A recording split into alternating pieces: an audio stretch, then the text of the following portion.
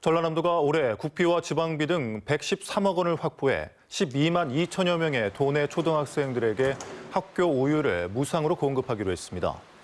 전라남도는 당초 취약계층과 소규모 학교에만 한정했던 학교 우유 무상급식을 지난 2021년부터 도비를 추가해 전국에서 처음으로 전체 초등학생으로 확대했습니다.